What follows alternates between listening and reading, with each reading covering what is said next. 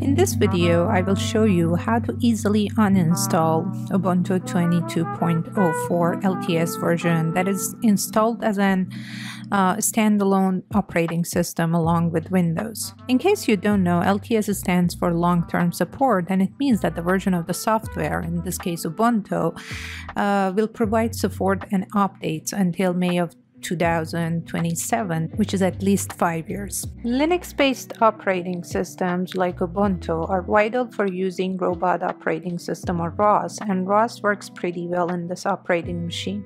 In case you need to uninstall Ubuntu for any reason, this guide is for you. The first step is like the installation guide and you need to create a live USB. You will need a fast USB of at least 12 gigabytes of space. The first thing you should do is to go to the Ubuntu's uh, website and download its desktop version and save it to your machine.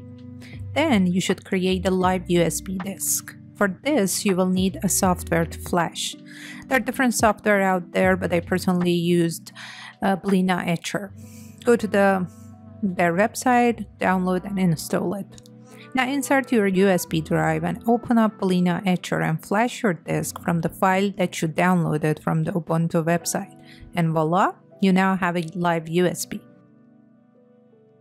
Now boot your system with this USB. If it doesn't automatically um, start, on Windows you can press F12 key and choose try or uninstall Ubuntu. And after that, choose try Ubuntu. Open a terminal by pressing Ctrl Alt T and then type this command. Press enter and then type sudo apt update and then install OS uninstaller. Launch the OS uninstaller and choose the operating system that you want to uninstall, which in this case is Ubuntu 22.04.